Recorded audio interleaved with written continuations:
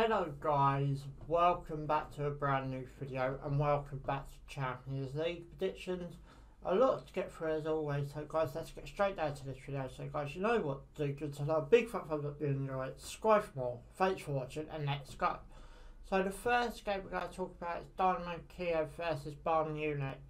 Dynamo Kiev ain't had a bad Champions League this uh, coming season, but at home to Bayern Munich. A very different team. Bayern Munich are in the Champions League and the Bundesliga. It's going to be a really interesting game for this one, but I'm going to go for a Bayern Munich win, and I'm going to go for a 3-1 Bayern Munich win. My next one is Villarreal versus Manchester United. Now the big news at Man United this uh, this weekend just gone they lost to Watford but see the end of Gunnar Solskjaer's reign as Man United manager. Should that come a bit sooner? I know, I know, I know a lot of Man United fans have been asking for him to uh, leave or to get sacked, but it has happened now. Going very different places this weekend now. They got look at Villarreal, Unai Emery's team, who let's not forget was lined up to take over Steve Bruce at Newcastle literally uh, maybe just over three weeks ago. But it's going to be a really interesting game. Will he come to United? Only time will tell. But Poch is leading the manager role at Man United at the minute to get the job. So go forward to this game, not only has turned out that Newcastle job, obviously Eddie Howe's now in charge. But I'm going to go because of that and of apparently Michael Carrick's caretaker charge. I'm going to go for a Villarreal win, I think. And I'm going to go for a 2-1 Villarreal win. My next one is Barcelona versus Benfica. Barcelona doing, you know, I really saw, I really had a look at them, or had a chance to look at them, you know, since new managers came in. But Daniel Alves back in Barcelona and apparently only play for one euro a week. I'm not sure how true that is, that's maybe just something I read. Going up against an okay Benfica side. Because I haven't seen the Barcelona, you know, uh, makeshift yet, I'm going to go for a Benfica win and I'm going to go for a 2 0 Benfica win. My next one is Young Boys versus Atalanta. Young Boys having, you know, quite a good uh, Group F run. Beating Man United week one and they play Man United at the end of the group stages. Atlanta, you know, I think it's their game against United I watched and basically it was a really good run by Atlanta. I think Atlanta just missed out again if I remember correctly. But it's going to be a really interesting game. I'm going to go for a win for Atlanta and I'm going to go for a 2-1 Atlanta win. My next one is LOSC or Lille against Salzburg. I ain't really took much notice of either of these clubs to, uh, you know, really give a, a good opinion. But knowing Lille and knowing know what sort of team they are, I'm going to go for a Lille win, I think, and I'm going to go for a scrappy 1 0 Lille win. My next one is Slovenia versus Wolfsburg. Slovenia doing okay in Group G, going up against a very good German side as in Wolfsburg. Will this make a bit of a difference to you know the way they're playing, the way they're going about things? I can't really see it, so I'm going to go for a draw and I'm going to go for a 1 0 scoreline for that one.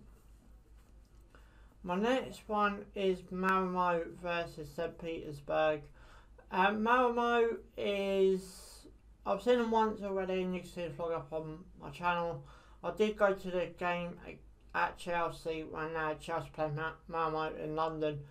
And one thing I've got to take you know, I can't take away from my Malmo is their support. Their support was brilliant on that night. I sat not too far away from them, and if you go back and watch my vlog, it really was a a great atmosphere by them. even though they went 2 0 down, they did not stop singing, and it was a brilliant support by Malmo on that night. And uh, yeah, so fair play to them. So Petersburg, on the other hand, ain't you know doing too of badly in the Champions League. It really is going to be one of them things. But I think St. Petersburg will win this game, and I'm going to go for a 3 2 St. Petersburg win. My next one is probably the one of the games in the Champions League this week Chelsea versus Juventus at Stamford Bridge.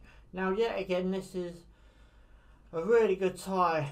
Uh, Juventus have came downhill, you know, with the likes of losing Cristiano Ronaldo and, you know, losing some big players. But Thomas Tuchel at Chelsea, what brilliant job he's doing. Three points clear in the Premier League, I think now at the top.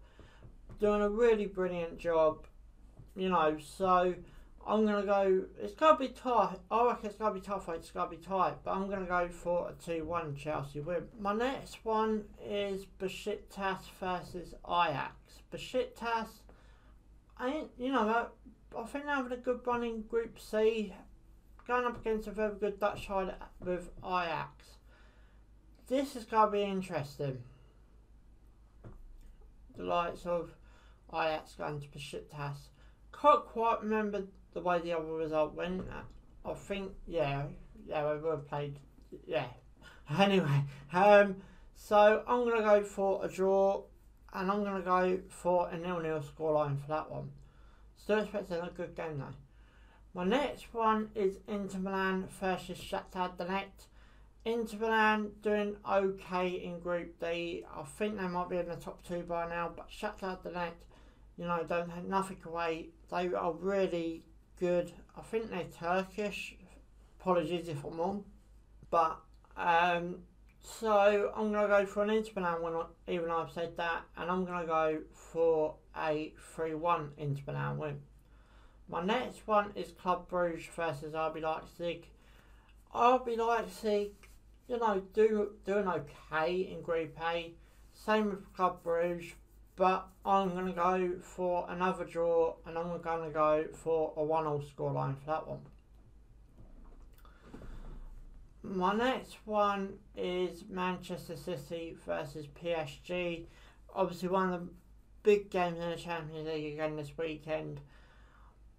Uh, Man City, I can't quite remember how it got in the Premier League this weekend. I think they might have won. But on the back end of that plan, PSG Whether it be Poch's last game in charge of PSG, we're going to have to wait and see.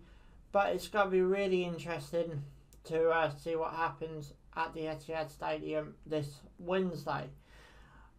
Even though I'm saying that, I'm going to go for a PSG win. I'm just probably expecting a little bit more from PSG if I'm being brutally honest. And I'm going to go for a 3 2 PSG win. Expecting a lot of goals in that game. My next one is Atletico Madrid versus AC Milan. Atletico Madrid, it's good to see Griezmann back with Atletico. AC Milan, no, you know, are doing their sort of thing, getting on with their business. It's going to be a really interesting game, but to give this game to the Spanish side, and I'm going to go for another 2 1 win. Expect a lot of 2 1s this midweek. My next one is Liverpool versus FC Porto. Now Liverpool, I don't know how to sum them up this season. You know they get going and they uh, anyway going over to Porto side. Really don't know too much about um, how I don't as I, I was about to say I don't know that much about Porto, which I don't. I do know that they were in the Champions League way back. I think it's 2005-06 season. Could be wrong again, but it's going to be a really interesting game, but being at Anfield, I'm going to give this game to Liverpool just about.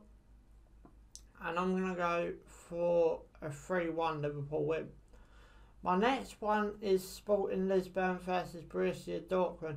Now, I do like how one of you advised me, I think it's the last round of uh, group games where Dortmund played Ajax and I with a 4 uh, I went with a 4 0 went to Dortmund. And then one of you lovely lot said, Did I watch the last game? And I, unfortunately, I didn't. And I did watch that game, and I can see why um, it was a sort of a hillbilly. But in one way, Dortmund did play, but just did not play in the second half. So I sort of remembered that for this uh, round. It's going to be a really interesting game though, but knowing what Dortmund did against Ajax in the first half and then in the second half, looked like two different teams completely. So I'm going to go for a Sporting Lisbon win and I'm going to go for a 3 1 Sporting Lisbon win. My last one is Sheriff versus Real Madrid. Sheriff have had, you know, a brilliant one. I think they've only won two out of their previous three games, four games, how many games have gone. But let's not knock Sheriff in any way, shape, or form. To beat two teams, I believe one was Real Madrid, who I are coming up against this weekend. Will it happen again? Considering what I've seen of Real Madrid, I believe it can happen again. And I'm going to go for another Sheriff win. Yet again, laugh it off. But I think it's Real Madrid they did beat in week two. Week two, week one. And I'm going to go for a 2 0 Sheriff win. Don't ask me why, but I, I will ask you in the comments if you put, you know, ask me in the comments and I'll try to explain. But anyway, guys, I'm going to bring this video to an end. So, guys, you know what to do. You've done a big thumbs if you enjoy it. Subscribe for more. Thanks for watching. Ciao for now.